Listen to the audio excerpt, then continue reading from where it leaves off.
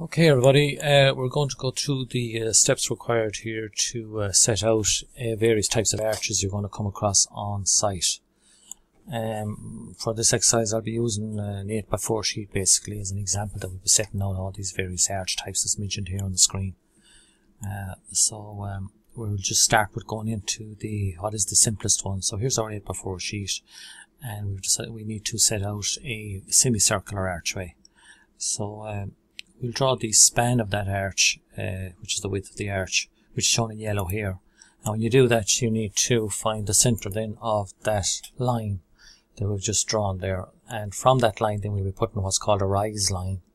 And in this particular type of semicircular archway, that rise line will be the same length as the half span of this archway shown in yellow.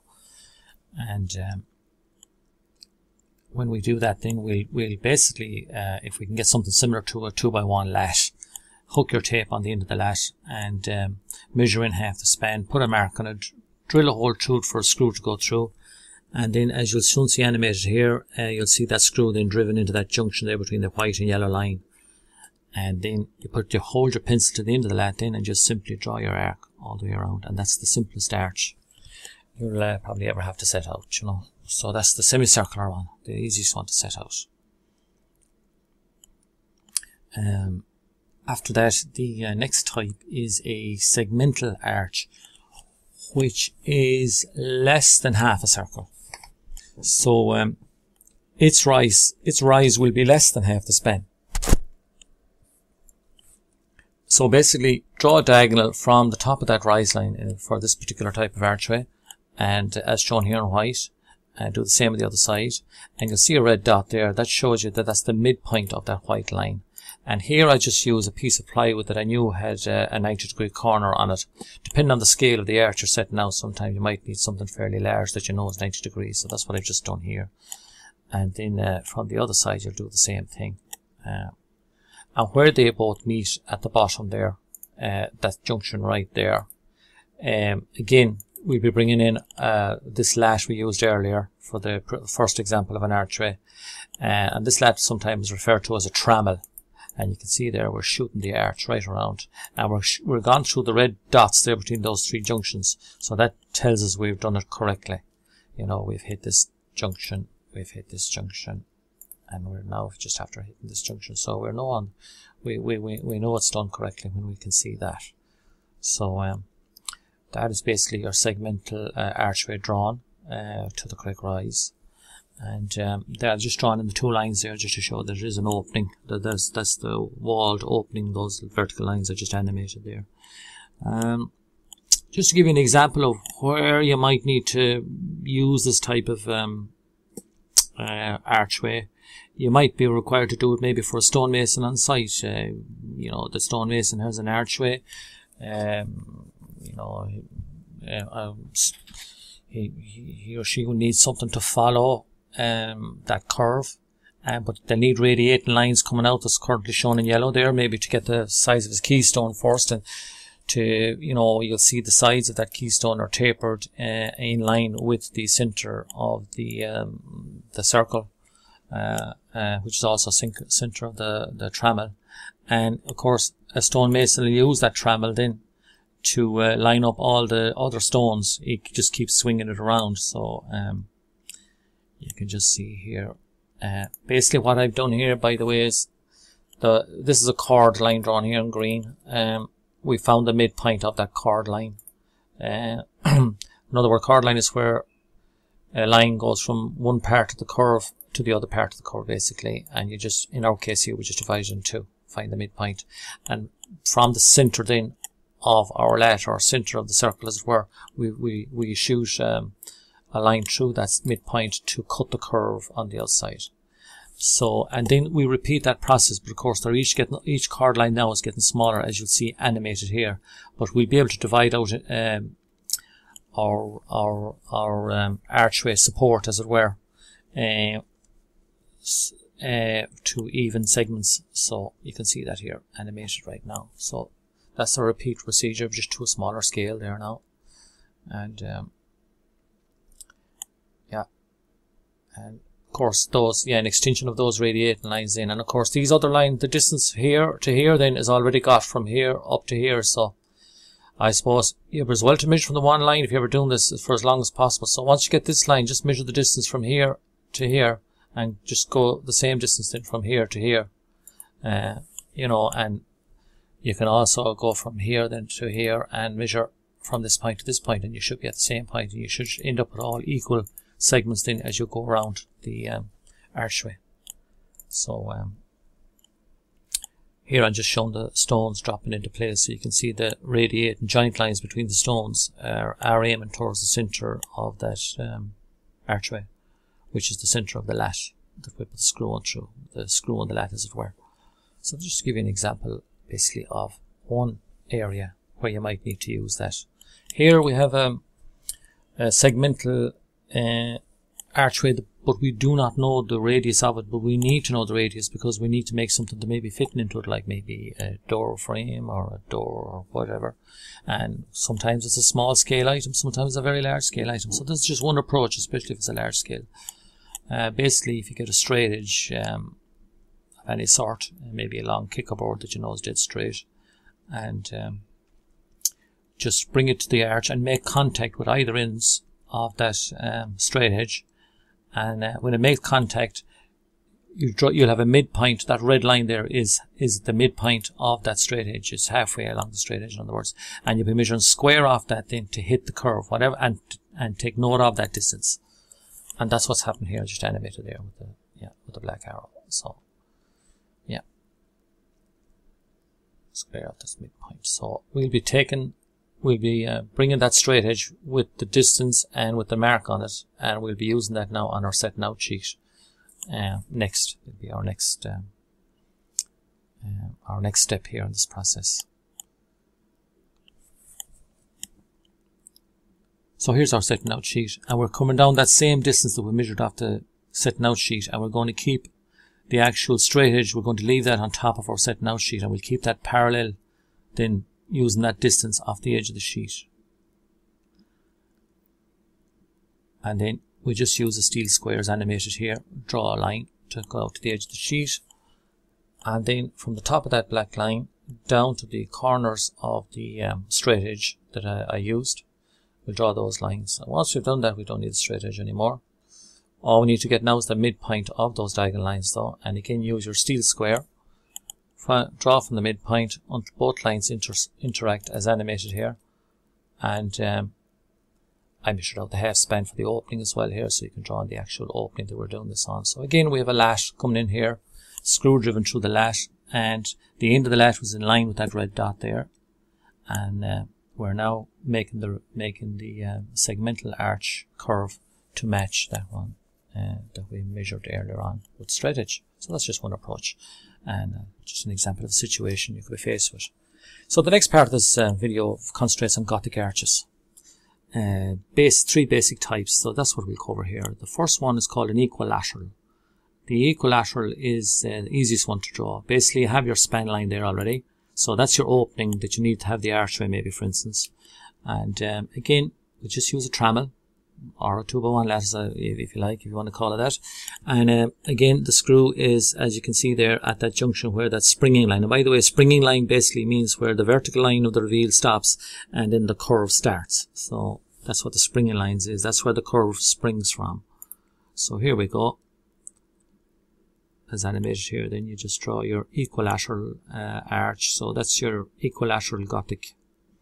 That's your that's your most uh, easiest Gothic to draw.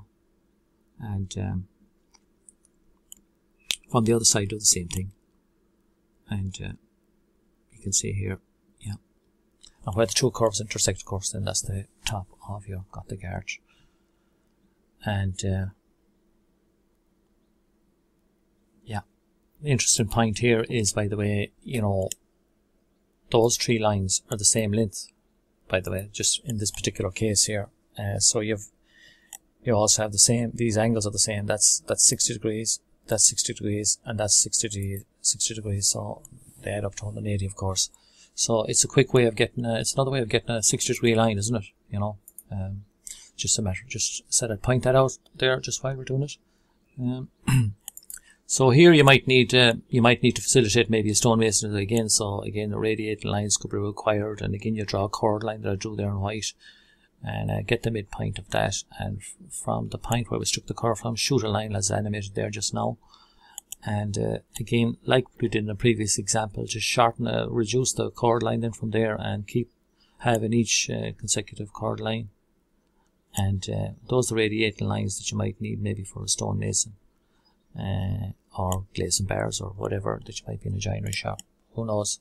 And um, here's your stone coming in, and that's just it's just an example of where you might need to use this um, type of um, arch. Um, so yeah, there's all your cut stones now coming into place.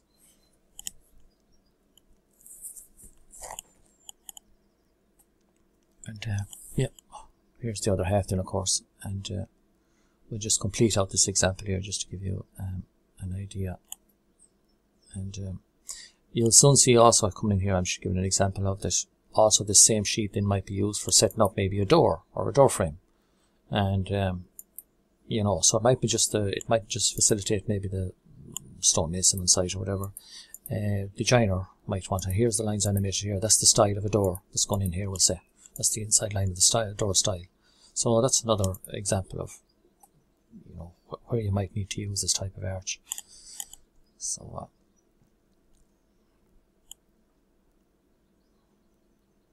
so here's your door coming in, of course.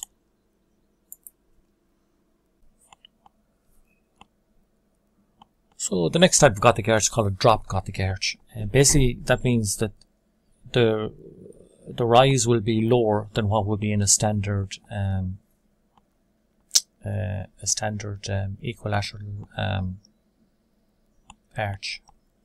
So um, you can see uh, the the red dot uh, is where it would have been if there was an equilateral one right there, but we've dropped the rise now to here. So basically draw the diagonal line as we've shown there in white, find your midpoint, bring in your large steel roofing square if it's big enough to draw the line, and uh, do the same on the opposite side. And uh, you see I just transfer that distance, then you don't need to go to uh, too much trouble than to draw the other half because it's, it is symmetrical from the rise line. So whatever distance you are from here to here, then it's uh, obviously the same distance from here to here. And I just use that red line there just to illustrate that. I just animate it there, just have to pass it over there. So you just draw your line to there. And uh, again, we're using uh, trammel, uh, and you can see the trammel is fixed, was screwed to this point here and uh, that that draws uh, one half of our uh, drop Gothic arch and then for the other half the same procedure mirror image across the rise line. And uh, there's the other half of our drop Gothic uh, drawn. Uh,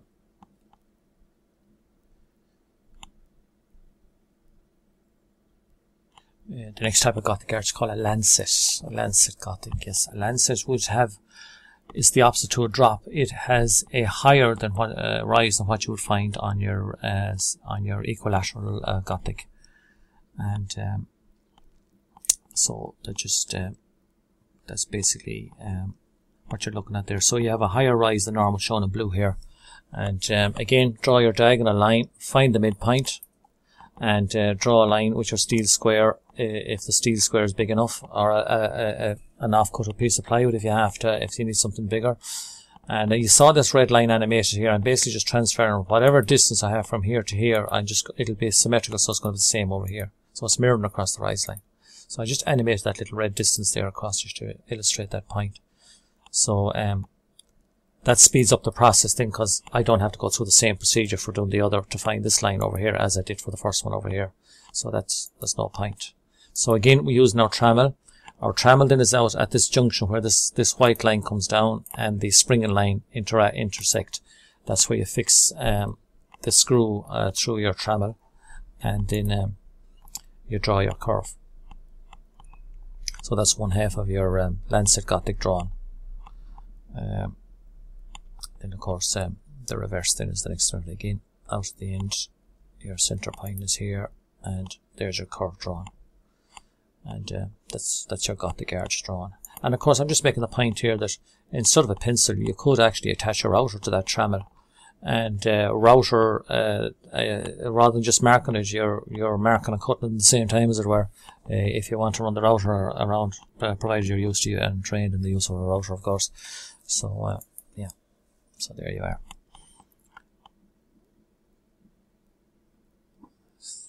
So, um, yes, the um, next example we're going to hear now is called a, a, an elliptical arch. Um, so, an elliptical arch is, you know, it has a wide span. Uh, you know, that's from here to here. Anyone that might remember if they did tech drawn or whatever, or mechanical drawn, you might have heard the term major axis. Well, that'd be the major axis of an ellipse. And from here up to here, there will be half the minor axis of that ellipse. So it's uh, you're, you're, it's it's it's just we're using different terminology here, but it's the same thing basically, uh, and, a, and, a, different approach. Um, uh, basically, an ellipse, I suppose, if you look at a circle square on and uh, tilt the circle backwards, the the the, the, circle starts to look like a, an ellipse rather than just a, a proper circle. But anyways, we'll continue on with this. So that is half, that's the rise of our arch, which in other words is half a minor axis. If you, um, if you've done some mechanical drawing or technical drawing, you'll be familiar with that term. But for our purpose here, we're going to call it a rise. So draw again, draw, draw a diagonal line again from the end of the span line to the top of the rise line and do the same on the opposite side as indicated in white here and uh, then take that um, half span or half major axis as it were and swing it up onto the vertical and the difference in the uh, distance between the uh, the rise and the half span is from here to here and I need to have that distance going back along down along this diagonal here which I'm going to animate now anyway so, uh, and the remainder then is what's going to be actually halved when we find a center point on here. So just quickly go, animate, go through the animation here. So you can see it in black there what I was really after. And the remaining white line left in is what we find the midpoint of. And again, bring in your steel square, your large steel roofing square. Draw, draw a line down as, as, such down towards the bottom of the edge. Do the same on the opposite side. And uh, where they intersect down at the end, and this point here are the center of curves. So this is also known as a three-centered um, elliptical arch, as well as known as a false, uh, false one.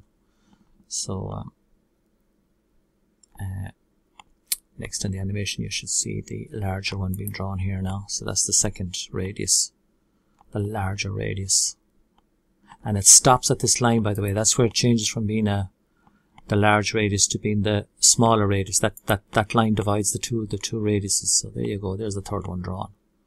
So there's your false ellipse or three-centered ellipse as it's also known as.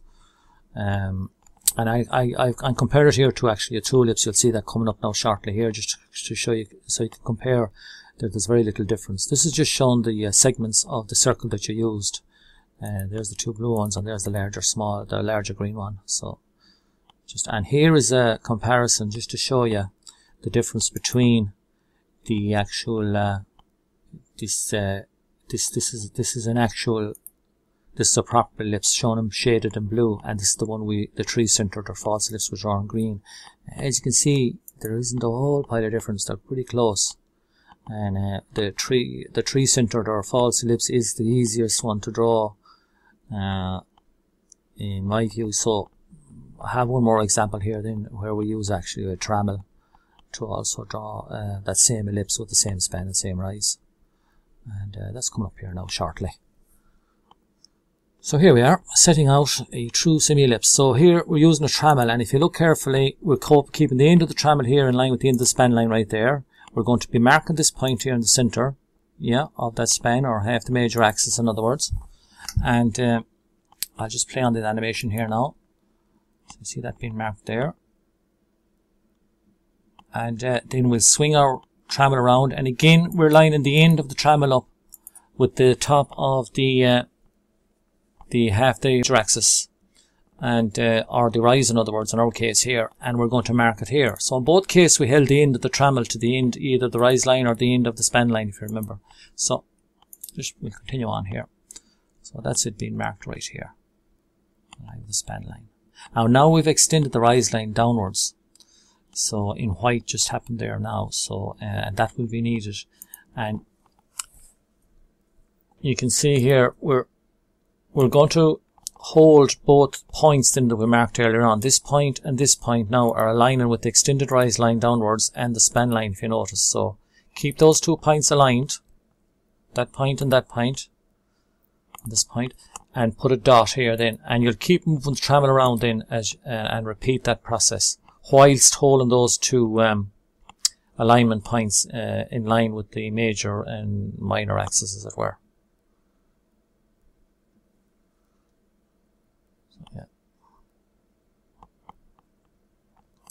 And here now we're lined up here again and here again before we draw the, before we place the dot. And you continue on like that. And of course the longer flatter part of the curve would need less dots whether the tighter curve I find would need more dots you know because it's a very tight uh, smaller radius. But the larger longer curve as we'll call it it needs the dot you can space out the dots in that case because that's easier to, to, to draw. Uh, and of course, what happens in this case, you end up drawing it freehand, uh, you know, so, which is okay depending on what you're making or what, what you're setting out, you know. Um, so that's the completed one there. Um, so, um, yeah, next we're, we're going to use an approach where we set up what I call a, a, a groove track, uh, you and combine it with the trammel we just made. So you'll see that here, and that's that's shown in pink here now. Uh, there it is in pink. That's actually a groove um, grooved into this uh, plywood that we're going to use as a template. And uh, we're going to have two pins through this trammel here that will travel, that, that protrude down underneath this trammel and into that groove. So the movement of the trammel then is controlled by the, the, the track and the pins going into the track. And you can see that you can see how that's working here as we uh, move forward. So I'll just play it along here and you can see what I'm talking about uh, in an animated form format. So, so there we are. We're setting it up. You can see there. And you see there, it's still moving along the track. Both pins are moving along the track. And that pin can't have any play you know, it has to be snug to the width of the track. Um, so, now sometimes there are little blocks that'll slide along the track with a screw into it. But uh, this will give you the basic idea of how it works. And you can see it here.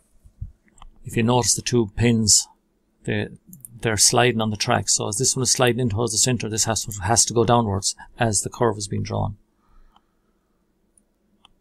So this is using a trammel to uh, draw your, to actually draw your, uh, using a tra uh, combined with a, a, grooved track in the center of the ellipse.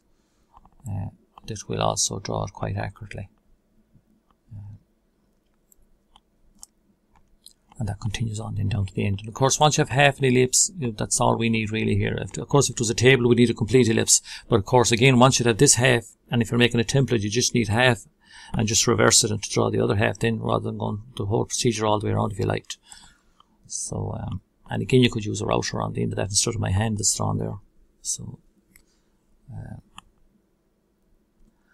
well, that's basically it, folks. Hopefully that gave you an insight into what's involved with the various types of arches that you might have to deal with on site